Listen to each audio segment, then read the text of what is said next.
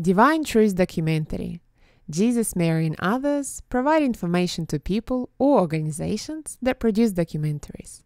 In this video, Jesus and Mary are interviewed by Thomas Leader while traveling from Brisbane Airport to their home with Thomas and his cameraman Simon. This is session 2, part 2, filmed on the 9th of August 2013 in Brisbane, Queensland, Australia. See where I'm to put it in context, really, Yeah, I think. put it in And context. then if we, and also a bit of my history with my ex-wife. So yeah, I think you know- I don't really think I need to ask. I could ask a question. Um, no, I'm not sure. I need to. Um, yeah. So then, Jehovah's Witness believes. Well, I suppose if I start firstly, like, um, my ex-wife and I were married when I was 19 and she was 18. So we were married quite young, as many people who are Jehovah's Witnesses do marry quite young, uh, because they don't believe in premarital sex or anything like that. And my first son we had when we were 20, I was 22, Mary was 21, uh, sorry, Cherie was 21. And uh, the the reality is that Cherie basically fell out of love with me seven years into our marriage. So, or around six years into our marriage. And she became interested in another person, but she didn't feel brave enough to leave me and go off with that other person. And I'm not sure whether the other person wanted to be with her anyway. And so she sort of stayed in our marriage, even though she didn't really love me for that period of time. So we then stayed married for another seven years. And I knew that she didn't love me, but um, it was during that time that I sort of no, well, basically did not love her anymore. I felt like um, I felt like the soulmate issue was really important to me. I wanted to find out who my soulmate was, and I believed at the time another person was. I had didn't have a relationship with her or anything, but I believed she was, and I also didn't feel like um, Cherie was my soulmate. So, so I I knew that by the time I got to the point where I didn't love Cherie, I knew that I couldn't live with her anymore. And although she could live with me still, the problem with the Jehovah's Witness faith is that Cherie would have probably left me seven years prior if she had felt able to without losing her family and her friends. But in the Jehovah's Witness faith, if you leave your husband or wife and have a relationship with somebody else, then you are usually either disassociated or disfellowship, which means that you no longer get to see your family or your friends either. So it's like a complete cut off from your entire world. And of course, Cherie didn't feel brave enough to do that, and so she stayed with me. But I knew that I could not stay with her and and not, you know, to, in my mind, I had had to love her if I was going to stay with her, and I knew I didn't love her, and so I felt I couldn't stay with her, and that was the reason why I left. But I also knew that if I left, she would be bound by this underlying rule that the Jehovah's Witnesses have that if if you um, are left by a partner, but that partner who leaves you does not engage sexually with anyone else, then you're not free to remarry. So it's all to do with the sexual relationship. Like if the partner who leaves you does not have a sexual relationship with anyone else, then basically you cannot remarry. You cannot have a relationship with anyone either. And I didn't want to leave Cherie, my ex-wife, in the position where she was not able to have a relationship with somebody else. So that's the reason why I chose to do what I did. Does that make sense? At the time, I thought it made sense. It doesn't make much sense to me now, of course. None of that makes any sense to me now. So I would just, now, if it was now, I would just leave. and I certainly wouldn't choose to have other people believe lies about my leaving either. But that's the way it went at the time. what do you mean about lies about the way you? Um, Well, left? you know, I said that I saw a prostitute, which is not the same as being with one, but I knew they would interpret that as meaning that I'd had sexual relations with a prostitute. Nobody actually asked me whether I had or not, fortunately, because otherwise then I would have had to say, no, I haven't had any sexual relations with a prostitute. But um, but nobody asked me because they wanted to believe that I had had sexual relations with a prostitute, and that is what enabled Cherie, my ex-wife, to be able to remarry without waiting for me to have a relationship with somebody else under their rules, if you like. So, how was your life afterwards? How were you treated then? Well, as a result of my actions, um, my family didn't speak to me anymore, my friends didn't speak to me anymore. I lost all of my family and friends, and eventually the witnesses convinced my two children that they should treat me as if I'm already dead. And so they didn't speak to me anymore for nearly two years. And so I lost quite a lot. At the time, I was pretty sad and, uh, and I just didn't see much point in life. I wasn't to kill myself, but I felt like dying. And, um, and I, I basically um, had nobody to talk to as well. So eventually I went and saw somebody who I could speak to about the whole thing to get rid of some of the emotions about it. But it was pretty traumatic time of my life. And in fact, uh, the people who spoke to me, the witness people who spoke to me, they're called elders. Um, some of them recommended that I'd be better off killing myself than leaving my wife, uh, actually. Um, and that, that's partly some of their beliefs that when you when you do what they call sin against God or whatever, and I don't believe it is a sin against God, but they do. And when you sin against God, they believe that basically you might as well be dead because that is what's going to happen to you in the long run. And so they encouraged my sons to treat me as if I was already dead, and they encouraged my family to treat me as if I was already dead, and um, and so I didn't get to speak with anybody during that time. So as you can imagine, it was a pretty emotional, traumatic time, and and I really struggled during that time emotionally to cope with a lot of the emotions that came up as a result. So how did that make you feel then, sort of being cut off from your? Because I think if I was in a vulnerable position and my family just completely cut me out of their uh, lives, Yeah. you know, I'd, I'd feel pretty hurt by that. Yeah, I realised that to survive, I was going to have to emotionally let go of everything that I believed in and felt was true up until that time, even about my family. And eventually, I came to feel actually that everyone was my family. That I don't, I don't see myself as having a family anymore. I see the whole human race is my family and I don't have any special connection to my, you know, my birth family, if you like, as a result, because I've let go of all those emotions, really.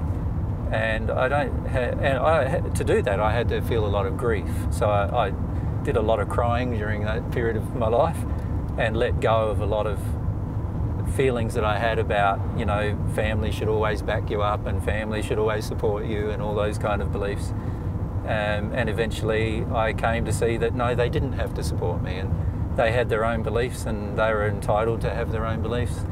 Uh, it didn't mean that I have to that I had to agree with them, but I felt that um, their beliefs were wrong, just like they felt that mine were, and I was okay with that after that period of time.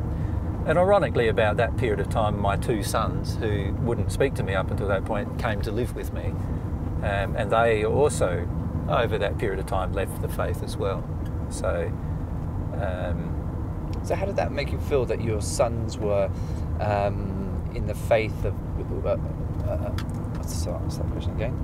Um, how did that make you feel that, that your sons were in the faith, but yet something that you completely didn't believe in, and and they treated you so badly? How did that make you feel? Um, yeah, I, I didn't have any. This is one of the things that helped me a lot with my relationship with God, actually, because I realised that even though my sons didn't want to see me, I still loved them. And even though I disagreed with their course of action, I still loved them. And even though what I, I felt that their actions towards myself were unloving, I still loved them. And, and so what that helped me understand was that if God is better than the average human, and I believe quite strongly, I always have believed quite strongly that God is better than the average human, I realized that the same thing applied to me. If I was doing something that God didn't agree with, God would still love me, and God would just hope that at some point in the future I'll realise what I'm doing um, is wrong, you know, and would and that I'd uh, try to address that. And and so it helped me go through a lot of emotions about God actually that I had up until that time. Obviously, because I was a member of a Christian faith, I had a lot of beliefs about God. Um, I don't. I, Jehovah's Witnesses don't believe Jesus is God. So, um, and I I know Jesus is not God because I know who I am. But um, but but we always had that they always had this focus, if you like, on God and God's opinions. But God's opinions were based around what they believed the Bible said. And I realized that a lot of the things during that period of time, I realized that a lot of things the Bible said about God were not true. And in particular, that God is a punishing God, a wrathful God who punishes the wicked and wants to destroy the wicked. I realized all the way through that period of time that none of that was true. And that, and that really helped me a lot to allow myself to have the memories that I had all my life come up again, really. Because, because up until then, my allowance of my memories was very much dependent upon my belief system, which was very fixed. And so it, it helped me a lot. But so I, I, didn't have any feelings of animosity towards my sons. Um, I, I at times had feelings of unjust feelings with my ex-wife because she was often lying about whether I was providing child support and other things like that. Um, but uh, but eventually my sons learnt the truth of all of those kind of things, and eventually, um, as a result of what they learned through the process, they came to live with me anyway. So, so when my sons were, my youngest son was, um, ooh, was 14, nearly 15 when he came to live with me, and my oldest son was 18 when he came to live with me. So, yeah. And we get along great, as you'll see. You know, you'll possibly meet one of my sons while you're here. So, yeah. So, who was the first person that you told um, that you were Jesus, or who's the first person you confided in? Uh, my both of my sons, actually. Yeah, I, I felt uh, by that stage I was developing properties, and they lived in a property uh, about an hour away from where I lived that I owned, and. Um, and up until for the first year or so of my realizations of coming to terms psychologically of who I was, I didn't tell anybody. But after a while, I felt that I should tell at least my sons. And so I, I explained to them what I'd been going through. Yeah. Just let me have a cough, ticklish in the throat. Okay. it's a shame that we're not going to hear the karaoke from you. I was I was looking forward to oh, yeah. I was looking forward to it. Oh, can we? Yeah, is I- there any way if your voice is up for it? Well, we'll see. We'll see. Yeah, We'll see. We'll see how I feel. But after talking for a couple of hours, It's not going to help. if the voice isn't good, Yeah. I've got to save it for the next day at least. Is it? Ah, Yeah. I know. I was looking forward to that. Um, Yeah. So, uh, what was the question? It was the question is, um, what did my So- sons? How Yeah. did they react to saying you're Jesus? yeah, how did how did, how did your sons react to you Jesus? Um, my eldest son said, "No worries, that's all cool, Dad. I don't know if I believe that you're Jesus, but uh, no worries. I understand you must be going through some things, you know, like." And they asked me a bit about my memories, and I told them some of the memories that I had. Um, and so my older son felt that way. My younger son actually was said, "I believe that totally." Actually, is my younger son. He now lives down in Tasmania, um, which is like 3,000 kilometres from here. But he, uh, at the time, that's what he said. And the irony is now that they've almost switched their opinions. so now my oldest son feels that I, he knows that I am, whereas my younger son has his doubts. Yeah. But we talk frequently, so you know, it makes no difference to our relationship or anything. Yeah. They're really great men, you know. Yeah, my youngest son's 27, uh, 27, actually, he was 27 yesterday, Was he? I think so. I don't know Caleb's birthday. I think it's August the eighth or ninth. Can't So you remember which. this special remedy for looking so um, young? Because the fact that Uh, your youngest son is 27. My oldest son's 29. Yeah. Right. So, um, no, I, I feel that's a lot to do with relationship with God and love. Like I do feel it's a lot to do with those things. Um, I expect to get younger rather than older. Ex- Explain to me about that. well, as you deal with the emotional impediments, or let's call it emotional injuries that cause damage to your physical body, as you release them from your from your soul, then your physical body has the way has the manner to replicate itself so that there is no damage in the process of the replication process.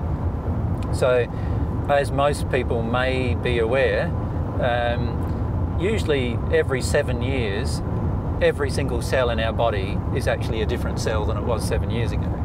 Our body has this complete replication process that every cell in the body replicates itself. But the problem for the average person is that we have emotional injuries which impact upon the replication process. So once we hit 24 or 25 years of age, the emotional injuries start imposing themselves upon us so strongly that the replication process of the cells is no longer perfect in its operation. And so instead of having the cells replicate and therefore, you know, be renewed every seven years, uh, we have each new cell that's being produced having damage that's part of the damage of the old cell that's died. And as a result of that, we age. And eventually, and it's caused through some genetic, some a gene inside of the DNA, and eventually we get so old that our body, some of our body organs start to decay so much that eventually we die. We can't sustain life anymore. Once we become at one with God, this replication process perfects itself. And so, if the closer we get to a one with God, the younger we'll start to get. And by the time we become at one with God, we will probably look around 25 to 30 years of age, you know, that ideal age that we have where we're fully mature, but we're not growing old anymore. And our body's cells can re- uh, sustain that process for the rest of our existence in a state of at one with God. So we could conceivably live on earth forever if we wanted to um, in that place. However, um, of course, it doesn't mean you can't die because you could still have an accident or you could still have um, somebody else having an accident that affects you, or you could still have somebody deciding to harm you and that would cause your death. But you wouldn't be able to die through uh, your own, through, through the destructive process of cell replication that currently occurs. Does that make So sense? no disease would exist, or no disease would be able to. When you're at one with God, there's no disease, there's no sickness, there's no death as we know it. You know, when I say there's no death, there's no death that's caused by the degradation of the cellular structure of the human physical body. yeah. Yeah, So you're saying that AIDS, cancer, everything. everything. There's no way you can actually even get an illness of any kind in that place. Is anybody actually at one with God? Now on Earth? Yeah. No. No one. It's a process that um, I'm trying to teach people how to go through. And historically, there's only ever been one person who was at one with God on Earth, and that was myself in the first century. And that happened when I was 30 years of age, 31 years of age, in the counting of Jewish time at the time. But what we would call nowadays 30 years of age. So, so before then, I was going through the same process as I'm going now, going through now. And I have a memory of that process, so it's a bit easier for me to engage it than the average person, I suppose. Um, but it's a process, and it takes time. In the first century, it took me 13 years to consciously engage that process. I've been consciously engaging the process now for nearly 10 years, and I suspect it will take me probably at least another five before I become at one with God in this life. So Yeah. why do people get illnesses? I know you're saying that um, if they're not at one with God. Yep. Um, so, for instance, if somebody says, "All right," they go to the doctor and they find out they've got cancer. Yep. Why does that happen? Each illness has an emotional reason that is different. That, it, in, other words, there's a soul-based cause, um, and if I can sort of explain it from a very sort of basic layman's terms initially, and then we can go into the more technical parts of it. From a from a very basic perspective, every time that we in our soul act or feel out of harmony with love, we are allowing an opening for a disease or a sickness or an illness to occur within our own body. When we are completely in harmony with God's laws of love, there is no way that any illness in our body can actually occur. But each illness has its own emotional signature. It has a reason emotionally why it's being caused. So it depends on what part of the body, what the illness is, and what areas of the body are affected as to what the underlying cause of each specific illness is. And, but when we become at one with God and therefore we become perfected in love, there is no openings whatsoever, anymore for any illness to occur in our physical body. And so we become, basically, we become uh, immune to everything. So you can think of it. So you, if you think nowadays, the way we develop immunity generally is we have a sickness, and then our body, over a period of time, builds up a degree of immunity to that particular sickness, depending on the type of sickness it is. But if it's a viral sickness in particular, it will develop generally an immunity if we survive the illness, right? And the immunity is developed uh, as a natural process in our body. What I'm suggesting is that when our soul, our, our emotional state, is in complete harmony with love, I'm suggesting that we have immunity on every issue, on every physical issue that could occur.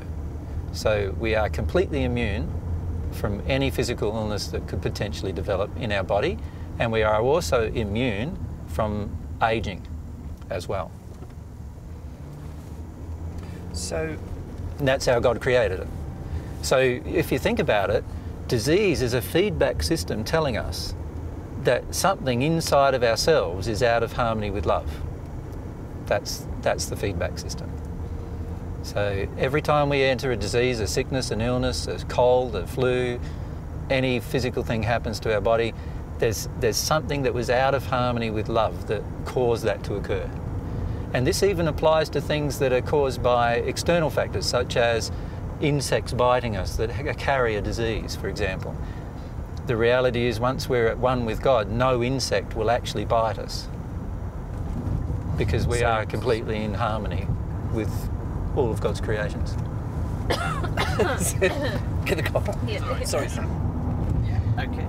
Yeah, um, you know what surprises me the most about people who believe in God is they seem to think that God created an imperfect system and we've all just got to tolerate this imperfect system.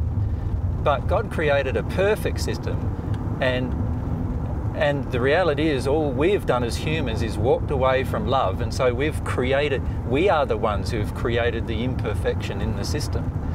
And the imperfection in the system results in feedback, and part of the feedback is illness and disease and sickness and accidents and all of these kind of things which happen to us which cause our own distress.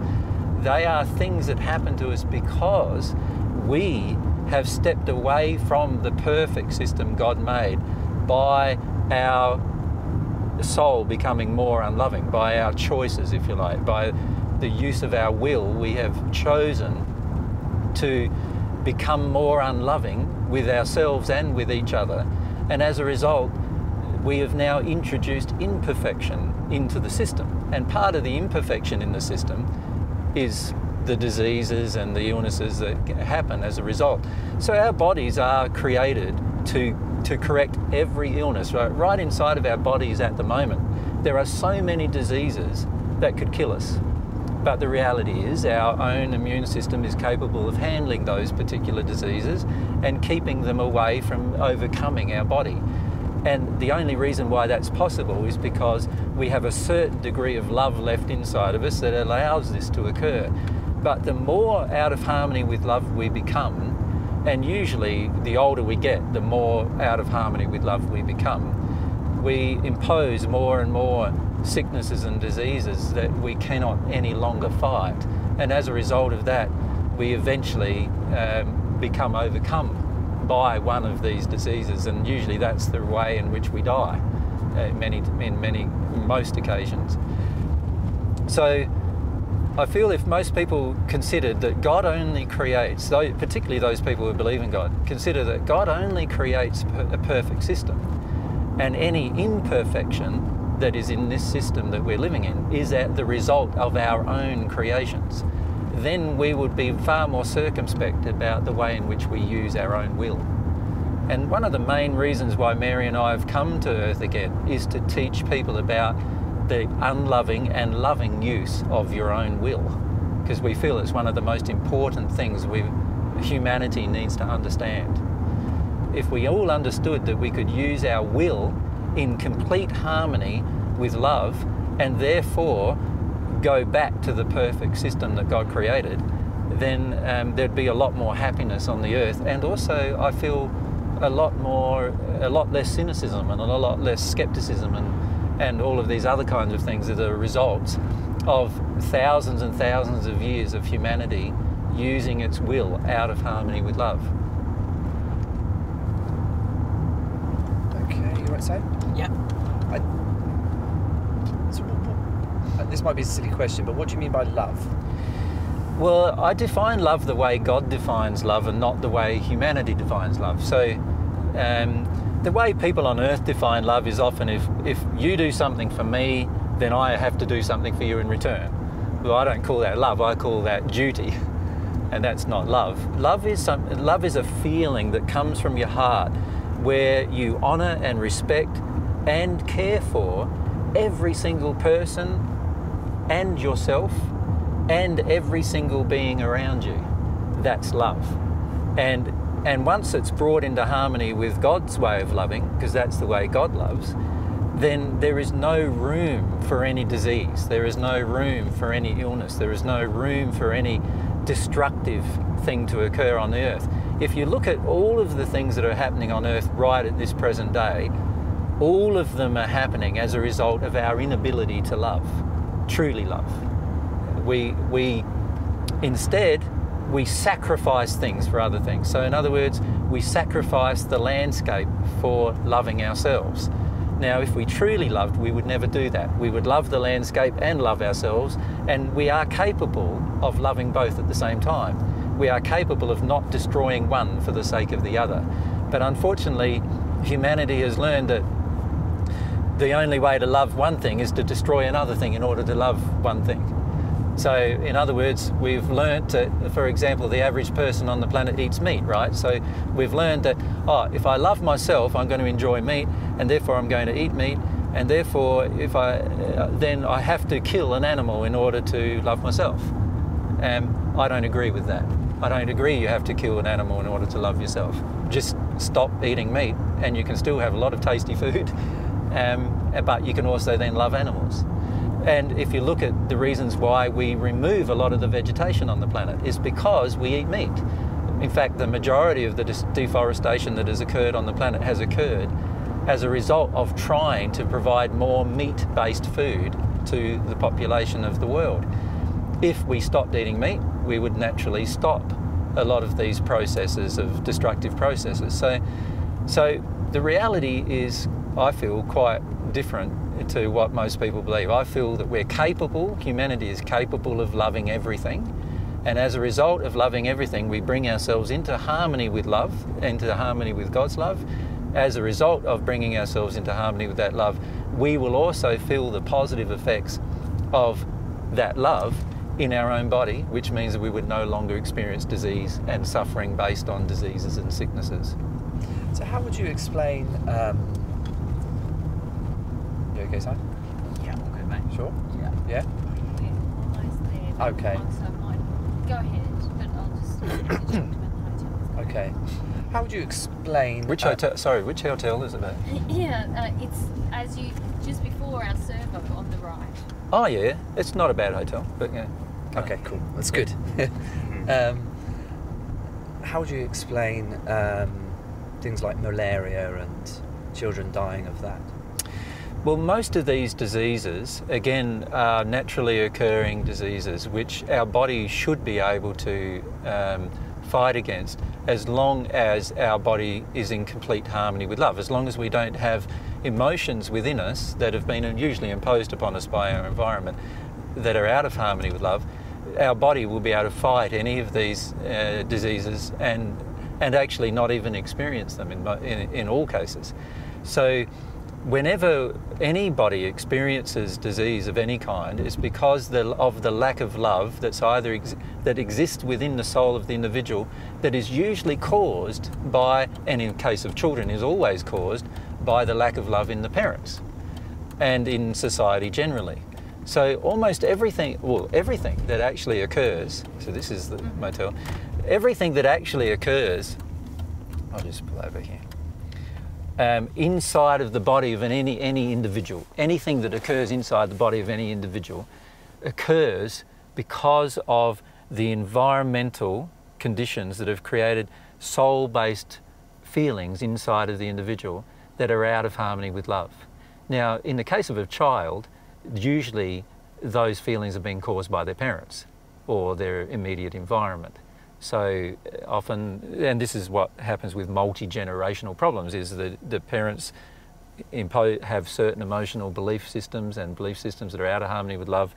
These, these belief systems and emotions which are in their soul, as soon as the child is conceived, the, soul, the child, child starts receiving these, these beliefs and, and emotions. And so the child, by the time the child is born, has already got a susceptibility to disease and a susceptibility to colds and a susceptibility to other to, to things like that. And their body has to develop immunities. I, I suggest to people that if if they were in complete harmony with love at the time of conception of their child, the child would actually be born with with immunity to everything and would not have any potential of being able to be harmed by any disease, whether the disease is caused by an external influence or an internal one. So whether the disease is caused by some kind of insect or some kind of bug or some kind of virus or some kind of uh, uh, bacteria or any kind of or, or any kind of external influence, none of those things would have an effect on the on the child because the child in the condition of love, the love inside of the child affects both the physical and spiritual bodies in such a way that the energy systems of both bodies work perfectly, and so therefore there is no way that any bug that enters the, the body can actually generate and, and grow. There's no, no way for it to grow. All of them grow as a result of us being out of harmony with love, not in harmony with love. Just explain, like in areas like the third world, it's not when you say out of harmony with love, it's not necessarily even an attacking feeling or a nasty feeling inside of the parents. It's that they lack self-love themselves and they've been taught Yes. So let's so let's clarify it. In harmony with love requires that we be in harmony with love of ourselves. One of the main reasons why we catch many viruses and other illnesses is because we don't love ourselves. We have learned to not love ourselves. We've been taught, in fact, often from a very, very young age, to not love ourselves. Often our parents don't love themselves. And how can a parent who doesn't love themselves truly teach a child how to love itself? They can't. And so the child learns to not love itself. So many of the diseases that occur on this planet are the result of a lack of self love, actually. They're the result of a lack of uh, care of ourselves. And this is why you'll notice that when we don't care for ourselves, we become highly susceptible to viruses. You know, most people catch a flu when they're already run down, when they're already, you know, feeling stressed out and they're already feeling run down. Well, that's because they're already not loving themselves. If they loved themselves, they wouldn't ever allow themselves to get into a rundown condition. If they really loved themselves, they would not ever allow themselves to, um, to uh, you know, fit, to put, be placed in constant condition of stress which causes the degradation of their own body systems in such a way that eventually makes them susceptible to disease. The reality is that if we care for ourselves and learn how to care for ourselves properly, uh, the majority of us would experience hardly any diseases at all. Most of our illnesses, if you think about viral illnesses, colds and flus and those kind of things, most of those kind of illnesses are all caused usually we, we're run down before we get them. So we're already not loving ourselves before we get them. And the getting of them is, a, is an indication that we're run down and we need to, we need to love ourselves more. Yeah. So uh, the majority, when, when I talk about a lack of love on the planet, the majority of people think about the love of other, others coming towards themselves. But that's not the biggest problem. The biggest problem is the lack of love that a person has for themselves. That's the biggest problem on the planet. Um, the majority of people have very little love or care for themselves. And as a result, they become very, very open and susceptible to many forms of diseases and illnesses. Um, of course, not all disease and illness are caused by a lack of love of yourself, because there are diseases and illnesses like cancer, for example, that are caused by a lack of love of others. And they are caused by the way in which you interact with others, the demands that you have upon others, the internal rage that you project upon others, the passive aggressiveness that you project upon others, and so forth. And these kind of things are all out of harmony with love, and they all have an effect on our body. So how you behave to somebody else. Yes.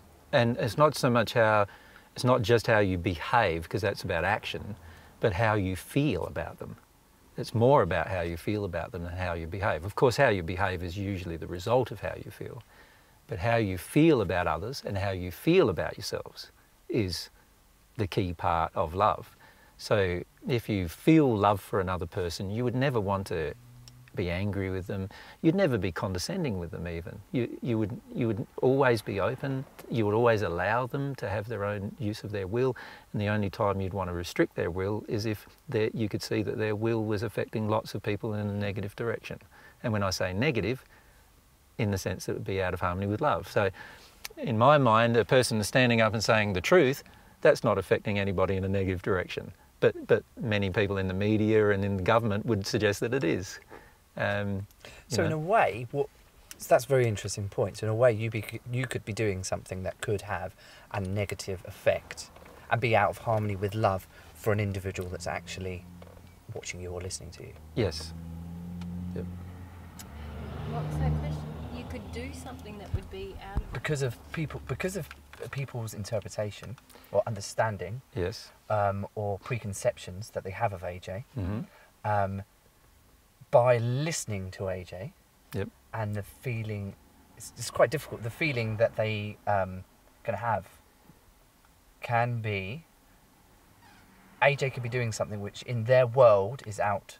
Of in, harmony with love. i- i- in their world yes. is out of harmony. It's perceived with. as being out of Exactly, harmony with love. yeah. Yeah. but it's not. Yes, But it's not. Yeah, yeah. See, so, so when I talk about being in harmony with love, I'm always talking about God's perception of love. In other words, God's, if you like, what, what are God's laws about the issues of love? And God's laws are very, very different about love than humans' laws about love. So, for example, um, if an unwed mother has a child on this earth, um, when she gives away this child to a couple who want to bring up a child, many times she would be looked down upon as if she hasn't been a good mother. But from God's perspective, if she is incapable of bringing up this child with love, then her wisest and love, most loving course of action would be to give away the child. So quite often, God's perspective is very different than human perspective. And, and uh, another, uh, another way we could look at it is you see a big issue now worldwide is this issue of whether gay people should be able to marry, right? Well, from God's perspective, everyone should be able to marry, right? If, if the right is given to one person from God's perspective, it should be given to all people. So if, if, if heterosexual people are allowed to marry, then homosexual people should be allowed to marry from God's perspective. But from human perspective, well, they go down the track, but they believe God says this, and other people believe, you know, religion says that, and all these man-made laws get made. Plus, there's a lot of homophobia on the planet, and as a result of all of these kind of things, whenever somebody talks about a gay couple being marrying, a, a normal Christian will think, how terrible, it's an abomination, and it's terrible, and they have all this judgment. But they don't realise that they're doing exactly what the Bible says not to do, which is to judge another person, right? And, and for, so from God's perspective, the Christian is more out of harmony with love by condemning the gay couple marrying than the gay couple are to get married. The gay couple aren't out of harmony. The gay couple aren't out of harmony with love at all. And the Christian who's condemning them or judging them is more out of harmony with love than the gay couple. Right? And so therefore the Christian is in a darker place emotionally from God's perspective than the gay couple who's getting married because they love each other and they want to get married. One last question, just because I know we probably all want to get out of the car. Sorry. Um, you're right, Si. Yeah, all good. Okay. Um, uh, I'm interested. So, how would you how would you explain so a child that's born with Down syndrome? Oftentimes, with, uh, with our emotional injuries, our emotional injuries get so bad that the, pardon me, the cell replication process becomes so distorted that certain genetic imperfections start arising within the cell replication process. And so, what happens at this point in time is, is a person may conceive a child, but the child's genetic structure, the body of the child itself, has now been impacted by the parents so much, by the parent's emotional condition so much, that now there is a distortion in the child's genetic structure as a result of the emotion that exists within the parent. Does that make sense? And, and usually it's both parents. So as a result, you get this distortion in the child's genetic structure, which then exhibits itself in some manner. And, and Down syndrome is one of these manners in which the chromosomal, uh, there are chromosomal problems with, your DNA, with the DNA, and, and as a result, you get a Down syndrome child. The soul is still a soul, a soul that has been created by God. So there's still a child who's a soul God that God loves, and the Down syndrome is just another physical impediment that is imposed upon the body of a child through one particular emotional injury that is stronger in those particular parents than in other parents. And, uh, and, and it's only one. Every single emotional thing that occurs has a specific, a recurring genetic problem and physical problem that it allows. So, for example, every woman that has breast cancer in the right breast has the same emotional problem. Which is? Well, in a case in the right breast, it's, it's due to her relationship with men and her passive aggressive rage that she wants men to, uh, to approve, she wants men to do things for her and approve of her in order to make some of her sadness go away. And that's why she gets a, a cancer develop in her breast. Now, many women on the planet feel that way towards men, and so of course, breast cancer in the right breast is a very common thing. And, uh, but every single physical illness has a specific emotional cause. Every single one. Every single genetic problem that uh, occurs in a child has a specific emotional cause in its parents. Every single one. And we have the ability to cure all of these. Mankind has the ability to cure them all, but only by knowing what the cause is. And what we're doing when we're chasing after physical solutions is we're ignoring the cause. The cause is emotional. The cause is the emotions that are out of harmony with love, out of harmony with love of self, out of harmony with love of others, that cause these particular problems. And you can actually document every single one, and we are scientifically able to do this, document every single emotional cause and emotional effect and disease-based cause, that, you know, every cause of every disease, tracing it from its emotional source. Um, but there's a general reluctance in the scientific community and the medical community to do it at this point in time. But in the future, you'll find we'll start doing it. Like there'll be more and more people become aware, and we'll start doing it. So, do you know? Sorry, are you okay, Si? Do I know the emotional causes of most diseases? Yeah, I think that's the question. Yeah. Yeah. okay, Si? Yep. Are you, are you okay? Yep, I'm good. You sure? I'm good. Yeah, I'm positive. Okay. Um, so, do you know the emotional ca- causes to diseases? To most diseases, yes. Um, you know, the, many of the emotional causes are very, very obvious actually, because you can feel the emotion that's consistent in each person who has that particular disease. So, so it's very easy to tell once you can feel the emotions of each person to feel what the actual cause is. But, but yes, we can document all of these things. So it, this could be a, an area of scientific endeavour that people haven't engaged at this point in time. And, and, and within, within 10 years, we could have a full documentation of almost every single disease on the planet and what its underlying emotional cause is. When you think about it, then we could go through how to release that particular emotion, and then we could also measure whether that has an effect on the cure of the disease. Right? So from a scientific perspective, we could actually prove everything that I'm saying if people were willing to engage the scientific process of actually examining the relationship. So if The ninja's about to die. Tom. okay, this is if if I was to present some a woman Mhm. and she had breast cancer in the right breast Mhm. and she was open-minded and willing to engage, Mhm. could you, or could I know it will be her that's curing herself? It is but could her you could you could you talk her through that process to actually she could, if she was engaging enough, could actually cure herself? Certainly, certainly. However, by the time a disease becomes present within the human body, it usually is an indication that we were already in huge denial of the emotions that cause it. So it's highly, like it's very irregular to find a person who's in such a condition who wants to actually deal with the emotion. So I've spoken to many women who have cancer in their right breast, for example, and told them what the cause is, and they completely deny that's their cause, and then they finish up dying of breast cancer because there is so much resistance to the idea or concept that they may have something inside of themselves that's out of harmony with love that is causing the problem. They want to blame something else. They want it to be some other reason. And this is the problem with most people on earth with it comes to disease and illness. We want it to be something that's not within ourselves. We want it to be caused by something else. Because also, if you th- if it's a a parent or Mhm. parents, Mhm. and you have a child, so according to what you believe, your child has Down syndrome, Yep.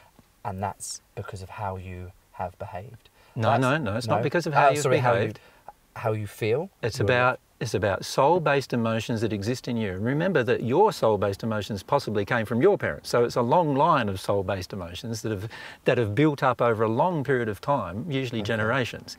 So so when I talk about the soul-based causes within an individual, please understand that I'm not blaming the individual mm. because it, the individual can't be blamed because it's a long chain of genetic passing down and emotional passing down from generation to generation these illnesses that have occurred. So eventually the passing down in, increases so much that eventually the latest generation gets a disease that, that gets passed down. So you can't then say, oh, the generation that caused that is the only cause, right? We need to understand what the causes are, but we need to not judge the persons who are involved in the cause because they aren't the only cause. The, the cause is a long line of decisions that have been made by generations of humankind and and the way to fix it can be fixed in one generation. So like you can fix all of these things in one generation, but but unfortunately what we do is we don't we, we take everything so personally, right? What we do is we go, oh, what AJ is saying or Jesus is saying to me is that I'm the cause of my own illness. Oh, how dare he say that? You know, we get all personal about it. I'm not, I'm not judging the person. I'm just saying there's emotions inside of you passed down through generations of people before you that are now within your soul, caused and passed down through the environment as well. The environment is a large part of this. And that you now have inside of yourself that are the causes of your own diseases and your own illnesses. And if you're willing to let go of them and release them, you can become cured of every single disease and illness. Isn't that fantastic? Like, to me, that's a positive thing. That's not a negative thing. Um, and the same applies to a Down syndrome child. Actually, the next replication, so once the parents heal the cause inside of themselves that have passed down to them over generations, the child has the ability now, if it's a young child in particular, has the ability to replicate its own cell structure with complete perfection. In other words, there, there can be a genetic modification of the next generation of cells in their physical body, which will cause them to, not, no, long, to no longer have Downs. So we could actually cure Downs while the child's alive, right? Not the next generation, the child in the child itself that has Downs. In the child itself. Yeah. So I'm gonna have to